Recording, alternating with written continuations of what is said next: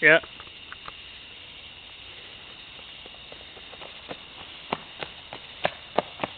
Let's scare the hound out of those people. Uh